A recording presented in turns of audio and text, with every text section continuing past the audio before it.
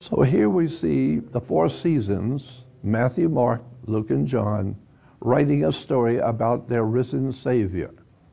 And what do we see them all for writing about? The Sun. This is why Jesus had 12 apostles.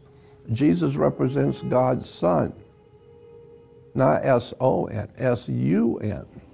Jesus is a metaphor in the New Testament for the sun. And he was our risen Savior, of course. The sun rises each morning.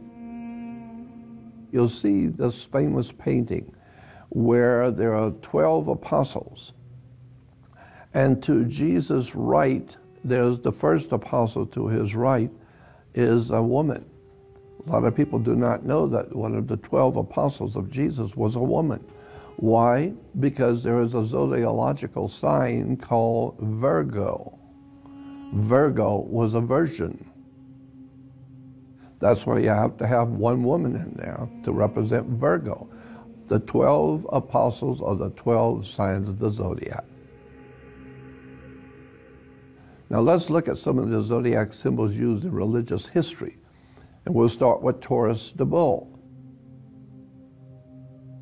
The age of Taurus was the age of agriculture when the cows and, and, animals that we were now beginning to use as food, that was just one of the qualities of the age of Taurus. The age of Taurus is between 4400 and 2200 BC. And keep in mind that Taurus the bull was recognized all over the world by all governments and all religions of the world. Everybody knew what it meant except us today. so this is why you have words like holy cow, and the cow is still holy in, in, in India today. We see the Egyptians worshiping the sun between the, the horns of the bull. The sun is very important to the 12 signs of the zodiac most people do not realize that Taurus, being in the, in the heavens as a constellational sign, was very, very important to Judaism.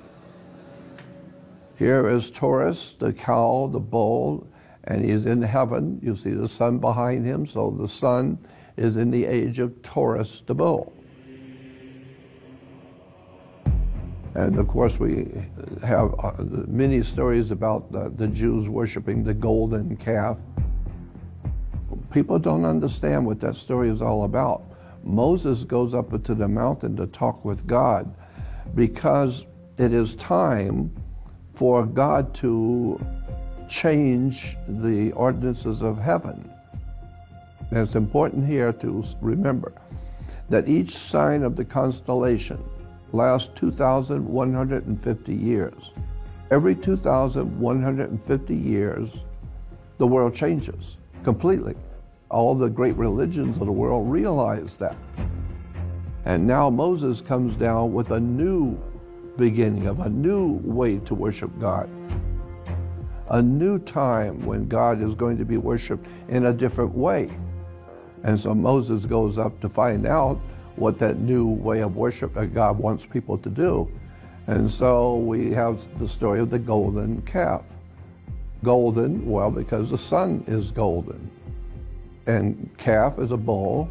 So we have the golden calf or the bull, Taurus, and the sun in the age of Taurus.